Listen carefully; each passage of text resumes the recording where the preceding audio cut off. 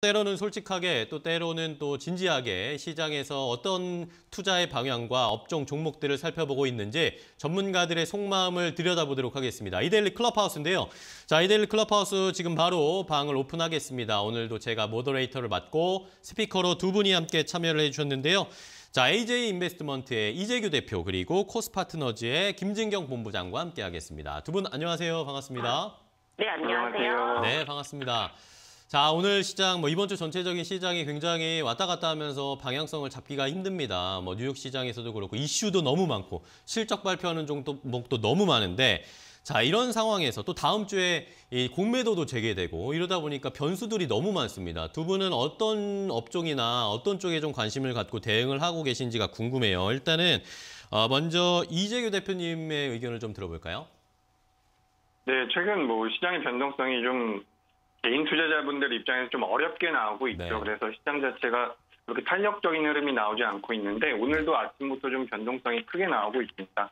그- 그렇지만 뭐 오늘 같은 오늘은 또 철강주들이 코스피에서는 선전을 하면서 네. 하방 경직을 좀 보여주고 있고 또 코스닥이나 뭐 전체적인 테마 섹터를 잡아보자면 코로나 백신 관련주들이나 치료제 관련주들은 좀 약한 반면에 이 진단 키트 쪽에 대한 변동성은 아직까지 크게 나오고 있습니다. 그렇죠. 그래서 네. 오늘도 뭐 휴마시스라든지 오상자이엘 같은 종목들이 이 진단 키트와 엮여서 큰 변동성을 보이고 있는데 시장 자체가 좀 불안정하긴 하지만 음. 우리가 시장에서 어쨌든 주목을 받고 있는 종목군들이 있고 음. 또 철강주라든지 이런 경기 민감주가 강세를 보이고는 있지만 경기 민감주가 간다라고 해서 다른 업종들이 약하다라는 것은 아니기 때문에 음. 시장에서 이제 주목을 좀 받을 수 있는 종목들에 집중을 하면서 우리가 관심을 가져보면 된다라고 파악을 하- 판단을 하고 있습니다.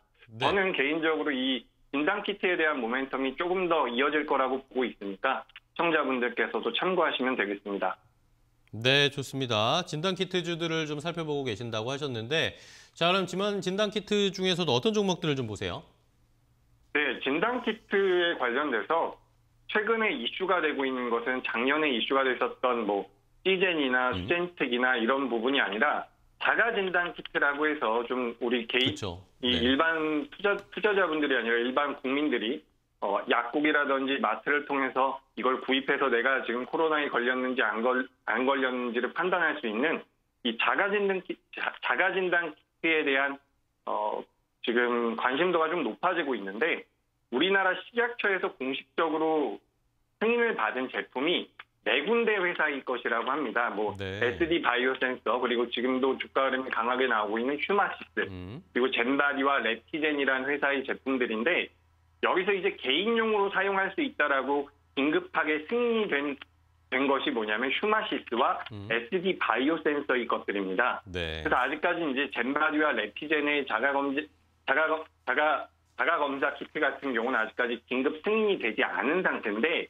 이제 이런 부분들이 시장에서 계속해서 자가 검사 키트에 대한 어 품목화가 계속해서 진행된다라고 한다면 이 자가 검사 키트에 대한 메리트가 큰 기업에 대해서 관심을 가질 필요가 있다라고 보고 있고 제가 지난번에도 한번 말씀을 드렸었던 기업인데 아이큐어라는 기업이 있습니다. 네.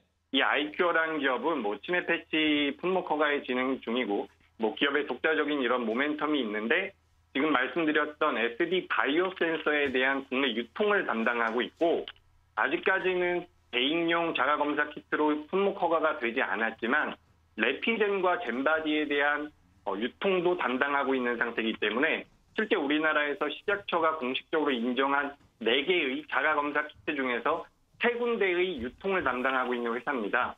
그래서 지금은 휴마시스와 SD 바이오 센서에 대한 부분들만 시장에서 좀 부각이 되고 있는데 SD 바이오 센서에 대한 유통과 앞으로 젠바디와 래피젠에 대한 유통까지 부각이 된다라고 한다면 네. 이 아이큐어라는 기업도 주가가 좀 좋은 모습을 보이지 않을까라고 생각을 해서 네. 저는 진단 키트 쪽에서 자가 검사 키트로 메리트가 좀 있는 아이큐어라는 기업에 대해서 소개드리도록 소개를 좀 드려봅니다.